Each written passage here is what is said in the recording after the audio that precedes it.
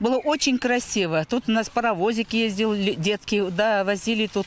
Они прям бедные даже экономили денежки, чтобы покататься. Пять, ми- пять копеек раньше стоило, да, чтобы прокатиться до самого центра. У этой заросшей и местами едва различимой в траве тропинки богатая история. Когда-то жизнь здесь действительно кипела. На спортплощадках занимались дети, прогуливались взрослые, работали аттракционы. А в 90-е путь вдоль реки Чла пришел в запустение. Зарос травой и, что еще печальнее, мусором. Прекрасная живописная тропинка. Пройдясь по ней, можно попасть в самый центр города Михайловска.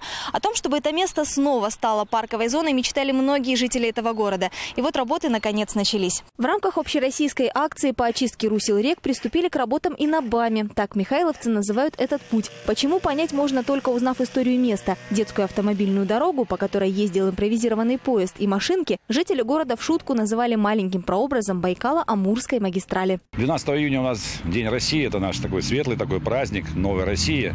Ну а какой можно дать лучший подарок нашему городу, как, вот, как, не поработать над, над его благоустройством? Вот и администрация города Михайловска, все МУПы, которые относятся к нашей администрации, все предприятия, вот так, там, которые нас поддержали, их немало, ну и просто горожане вышли чистить БАМ. Мы, то есть мы начинаем, я думаю, что двух-трехлетнюю программу по восстановлению БАМа. Инициировали субботник в администрации города. К десяткам работников муниципальных предприятий Михайловска присоединились и местные жители. Я услышал в соцсетях, что будет проводиться общегородской субботник на э, БАМе. То есть я помню, как эта территория была еще очень э, пригодна для отдыха и с удовольствием откликнулся. Позвали всех, дали клич. Михайловский Вести у нас э, выпустила газету, чтобы все люди участвовали в этой в субботнике.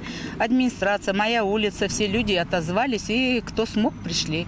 А чтобы труд был более продуктивным, власти Михайловска обеспечили людей тяжелой техникой. Мусор, который не было видно из-за густых зарослей, сгружали тракторами, а вывозили КАМАЗами. Когда начали обкашивать кусты, ну, поросль, а, там завалено было мусором. Сначала изначально планировали прочистить дорожку для прогулок, чтобы люди могли спокойно гулять, очистить э, футбольное поле для детворы.